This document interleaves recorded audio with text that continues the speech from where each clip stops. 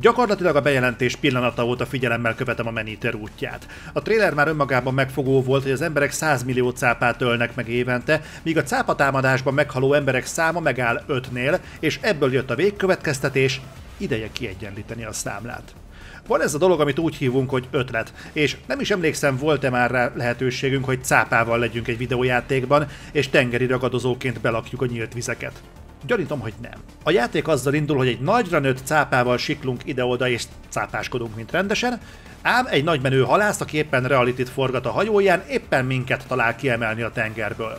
Ezzel véget is ér a pályafutásunk, és kezdődik az igazi játék, ugyanis, mint kiderült, cápánkban fejlődik egy kicsiny, amit hát nincs mit szépíteni, egyszerűen kikapnak belőlünk, és bedobnak a tengerbe, de azért a kis zabagép viszi magával a halgazdasági szakmunkás jobbját is.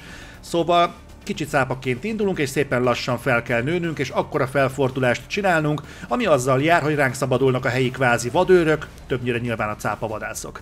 Ha ezzel is végzünk, és úgy általában tesszük a dolgunkat, ahogyan az egy jó cápához illik, akkor egy idő múlva visszatérhet a cápavadász, és bosszút állhatunk rajta. Azt kell mondjam, ahhoz képest, hogy milyen egyszerű alapötletű a játék, egész összeszedett történetet kapott persze, nem lesz egy ligás egy Witcherrel, de ennél jóval alacsonyabb szinten is megbékélhettek volna a készítők.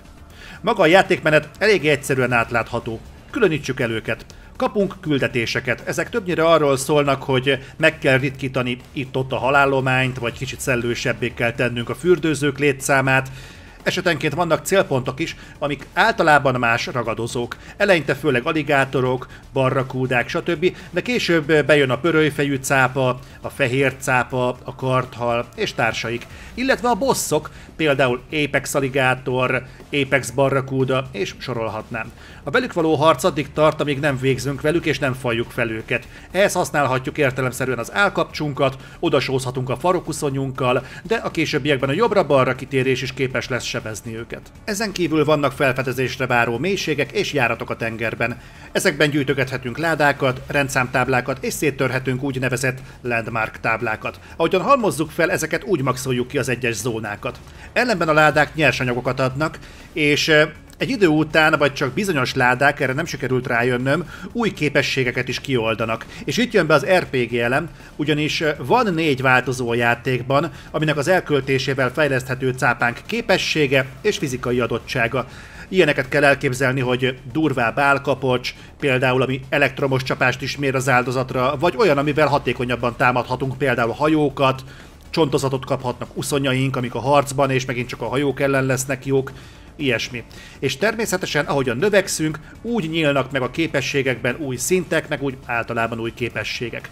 Minden új skill aktiválására a zónánkon belüli nyugvóhelyünkön lesz lehetőség, amiben abszolút védve leszünk az ellenfelektől, legyen az állat vagy ember, kár, hogy egymás között fast travel pontként nem működnek. Ezen képességek közül az egyik leghasznosabb egyébként maga a szonár lesz, amivel ki tudjuk puhatolni, mi van a környéken, legyen az ellenfél, táplálék vagy különböző bónuszholmik. A játék egészen elképesztően szürreális, olyan pusztítást vihetünk végbe az emberek sorai között, hogy ahhoz képest Spielberg cápája csupán vázlatos veszedelem. Külön abszurd élmény, amikor kivágódunk a partra embereket felzabálni. Tizet itt, tizet ott, és ha jönnek a vadászok, akkor gyorsan keresünk a mélyben egy pontot, amire nem látnak rá, várunk egy kicsit, és már mehetünk is visszarombolni mármint a közmorált. Amire felhívnám a figyelmet, hogy a játék szerintem fantasztikusan néz ki, és nem is okvetlenül a részletgazdagságról beszélek, hanem a vízivilág összképéről.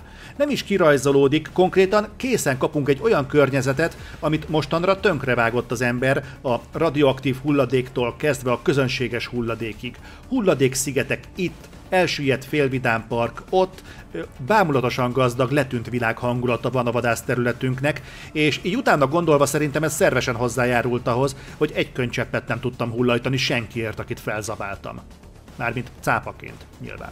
Viszont ettől függetlenül nem borús a hangulata a játéknak, hiszen egyfelől adottak ezek az abszurd szárazföldi vadászatok is, másrészt pedig a játék narrációját Chris Pernell végzi, aki a Rick és Morty sorozatból lehet ismerős sokaknak. Az ő közbeékelt gondolatai sokat dobnak a játék hangulatán, sőt, igazából elsősorban miatta érte meg például a táblákat gyűjtögetni pályaszerte, mert minden zónához tartozott valamilyen kurta anekdota is.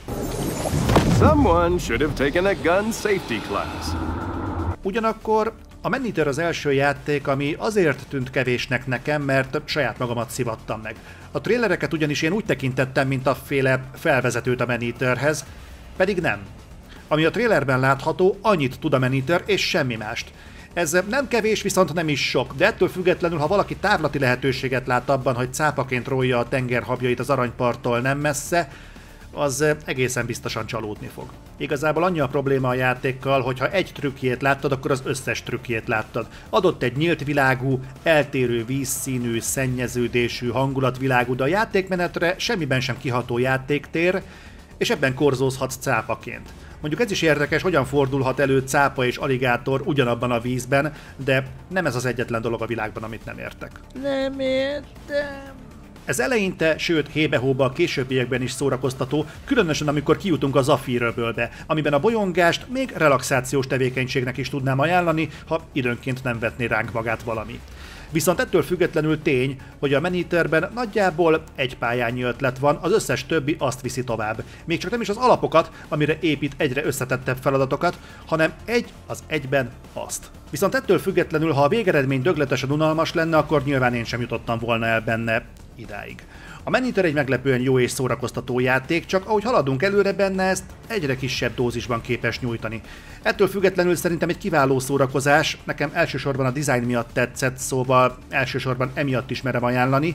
Még túlárazva sincs annyira, Szerintem egy kis leárazást még várjatok vele, és akkor viszont nem érdemes ott hagyni, mert igazi guilty pleasure. Ha már ideig eljutottál és tetszett, amit láttál, akkor kérlek lájkold a videót, esetleg oszd meg másokkal. Ha még nem tetted meg, akkor iratkozz fel hozzánk és nyomd a kis csengettyűt, hogy értesüljél az új videókról. Kommentben meséljetek, hogy kipróbáltátok a játékot nektek, hogy tetszett, mi a benyomástok róla, akár a videó alapján. Ha pedig szeretnétek korábban hozzájutni ezekhez a tartalmakhoz, akkor várunk titeket Patreonon. Link a leírásban. Sziasztok!